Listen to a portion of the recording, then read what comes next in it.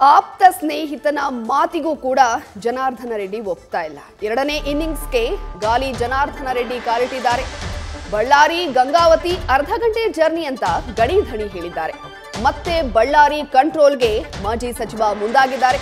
ಕ್ಷಣ ಕ್ಷಣಕ್ಕೂ ಕೂಡ ಜನಾರ್ದನ ರೆಡ್ಡಿಯ ನಡೆ ಕುತೂಹಲಕ್ಕೆ ಕಾರಣ ಆಗ್ತಾ ಇದೆ.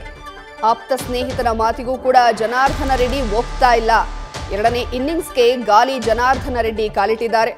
ಒಂದ್ ಕಡೆ ಶ್ರೀರಾಮುಲು ಅವರಿಗೆ ಆಪ್ತ ಸ್ನೇಹಿತನನ್ನ ಹೆಂಗೆ ನಿಭಾಯಿಸೋದು ಅನ್ನೋ ಪ್ರಶ್ನೆ. ಇನ್ನೊಂದು ಕಡೆ ಹೈಕಮಾಂಡ್ ನಾಯಕರು ಹೇಳಿದ ಹಾಗೆ ಅವರ ಸೂಚನೆಯನ್ನ ಕೂಡ ಪಾಲನೆ ಮಾಡಬೇಕು. ಅತಂತ್ರ ಸ್ಥಿತಿಯಲ್ಲಿ ಶ್ರೀರಾಮುಲು ಸಿಲುಕಿದ್ದಾರೆ. ಇನ್ನೊಂದು ಕಡೆ ಗಾಲಿ ಜನಾರ್ದನ ರೆಡ್ಡಿ ಅವರ ನಡೆ ಬಗ್ಗೆ ಸಾಕಷ್ಟು ಕುತೂಹಲ ಕೆರಳಿಸ್ತಾ ಇರೋದು.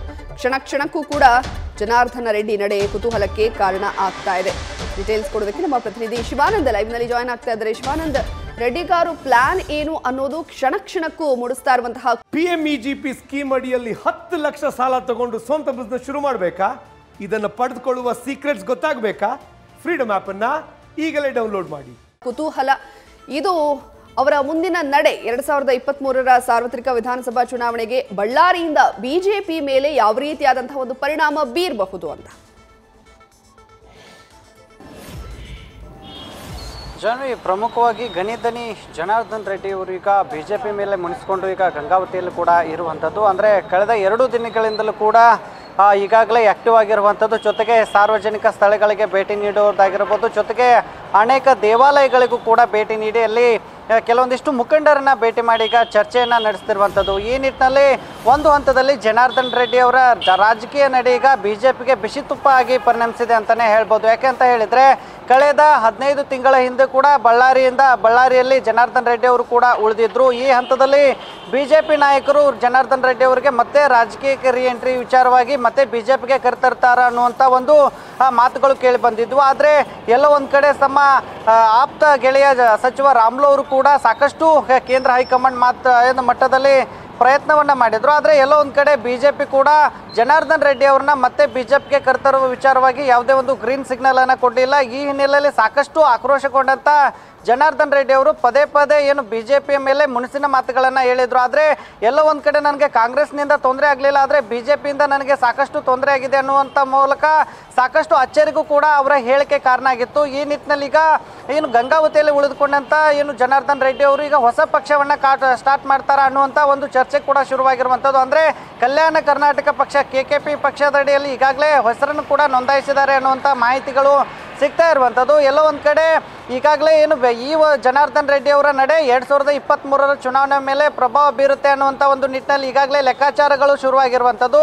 ಈ ನಿಟ್ಟಿನಲ್ಲಿ ಏನು ಆಗುವಂಥ ಬಿ ಜೆ ಪಿಗಾಗಿ ಕಲ್ಯಾಣ ಕರ್ನಾಟಕ ಭಾಗದಲ್ಲಿ ಬಿ ಜೆ ಪಿಗಾಗುವಂಥ ಕಂಟ್ರೋಲನ್ನು ತಡೆಯೋಕೆ ಈಗಾಗಲೇ ಏನು ನಿಭಾಯಿಸೋಕೆ ಈಗಾಗಲೇ ಸಚಿವ ರಾಮುಲು ಮೂಲಕ ಸಂಧಾನ ಮಾಡಲಾಗ್ತಾ ಇದೆ ಅನ್ನುವಂಥ ಮಾತುಗಳು ಈಗ ಇರುವಂಥದ್ದು. ಅಂದರೆ ಒಂದು ಹಂತದಲ್ಲಿ ಈಗಾಗಲೇ ಜನಾರ್ದನ್ ರೆಡ್ಡಿ ಅವರು ಏನು ರಾಮ್ಲು ಅವರ ಮಾ ಏನು ಹೇಳಿದರೆ ಮಾತ್ರ ಅವರ ಮಾತುಗಳನ್ನು ಕೇಳ್ತಾರೆ. ಅವರ ನಿರ್ಣಯವನ್ನು ಹಿಂತೆಗೆದುಕೊಳ್ಳುತ್ತಾರೆ ಅನ್ನುವಂಥ ಒಂದು ಲೆಕ್ಕಾಚಾರ ಕೂಡ ಇರುವಂಥದ್ದು ಹೀಗಾಗಿ ನಿನ್ನೆಯಿಂದಲೂ ಕೂಡ ಅಂದರೆ ಈಗ ಬಿ ಎಸ್ ಯಡಿಯೂರಪ್ಪ ಅವರ ನೇತೃತ್ವದಲ್ಲಿ ಅಂದರೆ ಒಂದು ಸಂಧಾನ ಕಾರ್ಯ ನಡೀತಾ ಇದೆ. ಅಂದರೆ ಎಲ್ಲ ಒಂದು ಕಡೆ ಬಿ ಮತ್ತೆ ಕರೆತರುವ ವಿಚಾರವಾಗಿ ಚರ್ಚೆಗಳು ಶುರುವಾಗಿದೆ ಅನ್ನುವಂಥ ಮಾತುಗಳು ಕೇಳಿ ಬರ್ತಾ ಇದ್ವಿ. ಈ ನಿಟ್ಟಿನಲ್ಲಿ ಈಗ ಏನು ಕೊಪ್ಪಳ ಜಿಲ್ಲೆ ಮಾತ್ರ ಅಲ್ಲದೆ ಗದಗ ಜಿಲ್ಲೆಗಳಿಗೂ ಕೂಡ ಜನಾರ್ದನ್ ರೆಡ್ಡಿ ಅವರು ಭೇಟಿ ನೀಡ್ತಾ ಇದ್ದಾರೆ. ಅಂದರೆ ಕಲ್ಯಾಣ ಕರ್ನಾಟಕದ ನಲವತ್ತೊಂದು ಕ್ಷೇತ್ರಗಳ ಪೈಕಿ ಮೂವತ್ತೊಂದು ಕ್ಷೇತ್ರದಲ್ಲಿ ಜನಾರ್ದನ್ ರೆಡ್ಡಿ ಅವರು ಸ್ಪರ್ಧೆಗೆ ತಮ್ಮ ಏನು ಆಪ್ತರಾಗಿರ್ಬೋದು, ಜೊತೆಗೆ ತಮ್ಮ ಬೆಂಬಲಿತ ಸದಸ್ಯರನ್ನ ಕಣಕ್ಕಿಳಿಸ್ತಾರೆ ಅನ್ನುವಂಥ ಒಂದು ಮಾಹಿತಿ ಇರುವಂಥದ್ದು ಜೊತೆಗೆ, ಏನು ಕೊಪ್ಪಳದ ಗಂಗಾವತಿ ಹಾಗೆ ಏನು ರಾಯಚೂರಿನ ಸಿಂಧನೂರು ಕ್ಷೇತ್ರದ ಒಂದು ಕ್ಷೇತ್ರದಲ್ಲಿ ಜನಾರ್ದನ್ ರೆಡ್ಡಿ ಅವರು ಸ್ಪರ್ಧೆ ಮಾಡ್ತಾರೆ. ಯಾಕಂತ ಹೇಳಿದರೆ,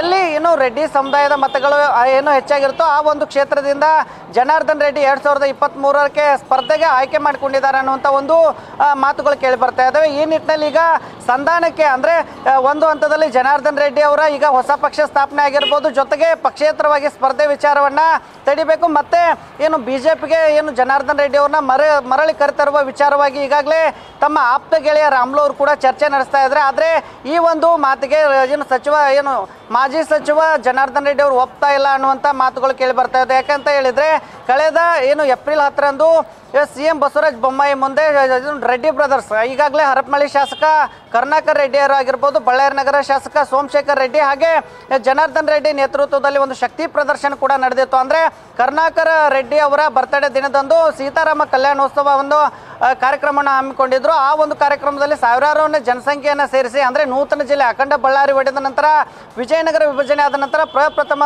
ಕಾರ್ಯಕ್ರಮಗಳಲ್ಲಿ ಜನಾರ್ದನ್ ರೆಡ್ಡಿ ಅವರು ಕೂಡ ಭಾಗಿಯಾಗಿದ್ದರು ಆ ಒಂದು ಹಂತದಲ್ಲಿ ಶಕ್ತಿ ಪ್ರದರ್ಶನವನ್ನು ಮಾಡಿದರು. ಅಂದರೆ ಅದೇ ಏಪ್ರಿಲ್ ಹತ್ತರಂದು ಅವರೊಂದು ಕಾರ್ಯಕ್ರಮ. ಆದರೆ, ಅದೇ ಇನ್ನು ಹದಿನೈದು, ಹದಿನಾರರಂದು, ಅಂದರೆ ಏಪ್ರಿಲ್ ಹದಿನೈದು ಮತ್ತು ಹದಿನಾರರಂದು ಕಾರ್ಯಕಾರಿಣಿ ಸಭೆ ಕೂಡ ಇದ್ದಿತ್ತು. ಜೊತೆಗೆ ಇನ್ನು ಸಿ ಎಂ ಬೊಮ್ಮಾಯಿ ಅವರು ಕೂಡ ಏನು ಜೆ ಪಿ ನಡ್ಡಾ ಅವರ ನೇತೃತ್ವದಲ್ಲಿ ಒನ್ ಫಿಫ್ಟಿ ಮಿಷನ್ಗೆ, B J P one fifty ಮಿಷನ್ಗೆ ಹೊಸಪೇಟೆಯಿಂದಲೇ ಏಪ್ರಿಲ್ ಹದಿನೇಳರಂದು ಚಾಲನೆ ನೀಡಿದರು. ಆದರೆ, ಆ ಒಂದು ಹಂತದಲ್ಲಿ ಬಿ ಜೆ ಪಿ ಕರ್ತರು ವಿಚಾರವಾಗಿ ಮತ್ತೆ ಜನಾರ್ದನ್ ರೆಡ್ಡಿ ಅವರಿಗೆ B J P green signal ನೀಡುತ್ತೆ ಅನ್ನುವಂಥ ಒಂದು ಚರ್ಚೆಗಳು ಇದ್ವು. ಆದರೆ ಎಲ್ಲೋ ಒಂದು ಕಡೆ ಈಗ ಜನಾರ್ದನ್ ರೆಡ್ಡಿ ಅವರಿಗೆ ಬಿಜೆಪಿ ಗ್ರೀನ್ ಸಿಗ್ನಲ್ ನೀಡದ ಹಿನ್ನೆಲೆ ಈಗ ಹೊಸ ಒಂದು ರಾಜಕೀಯ ನಡೆಗೆ ಜನಾರ್ದನ್ ರೆಡ್ಡಿ ಅವರು ಮುಂದಾಗಿರುವಂಥದ್ದು. ಈ ನಿಟ್ಟಿನಲ್ಲಿ ಈಗ ಸಂಧಾನಕ್ಕೂ ಏನು ಮಾಜಿ ಸಚಿವ ಜನಾರ್ದನ್ ರೆಡ್ಡಿ ಅವರು ಒಪ್ತಾ ಇಲ್ಲ ಅನ್ನುವಂಥ ಮಾತುಗಳು ಈಗ ಸದ್ಯ ಬಳ್ಳಾರಿ ವಲಯದಲ್ಲಿ ಕೇಳಿ ಬರ್ತಾ ಇರುವಂಥದ್ದು. ಜಾನ್ವಿ. ಥ್ಯಾಂಕ್ ಯು ಮಾಹಿತಿಗಾಗಿ ಶಿವಾನಂದ್. News first